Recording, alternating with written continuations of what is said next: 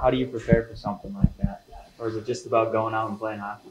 Uh, I think at this time of the year, it's uh, you know it's a unique opportunity. Uh, you know to get a couple more games uh, close together, and obviously playing Monday nights a, a different routine for us. We don't play many games on Monday through Thursday, so uh, I think at this time of the year, you know, you know, games uh, can be positive, and certainly uh, you know the game Monday night helps us out to get to a full uh, allotment of games. Uh, we'll only end up being one short, but uh, yeah, looking forward to it. Three games, four days. Uh, go back to my NHL days. I haven't spent five days on the road unless we go to a tournament. But so it'll be interesting for the players, and uh, the big thing is to you know to get everybody excited about the opportunity of, of playing the games. And so I say that this time of year, uh, I think a lot of them would rather play games than uh, maybe practice.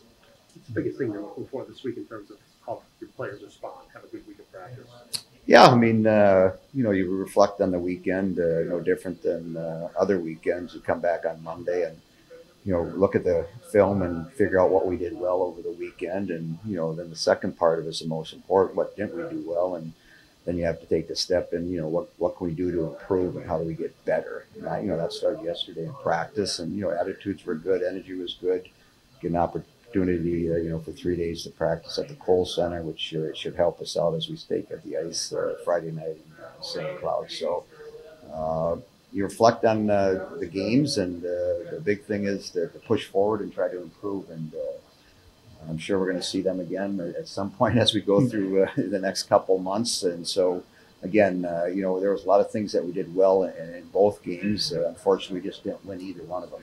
Yeah. What what are the what are there numerous problems or issues that you'd like to address, or is there just a couple of things that no? I think yeah, there's just a couple of things. Obviously, special teams over the weekend uh, was a factor on our side of the uh, equation, where you know if our power play. Uh, you know, had been better than it was. Uh, it could have won us both games. You look at, uh, you know, Friday night with a couple power plays in the first period. We weren't very good in them.